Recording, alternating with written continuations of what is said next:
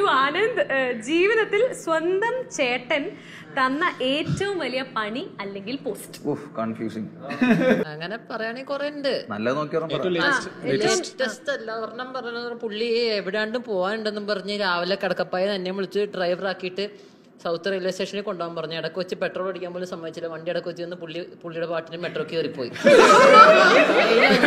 വണ്ടി ഡീസൽ വണ്ടിയായിരുന്നു അഞ്ച് പൈസ പോലും ഉണ്ടായാലും നട റോട്ടിൽ പൈസയും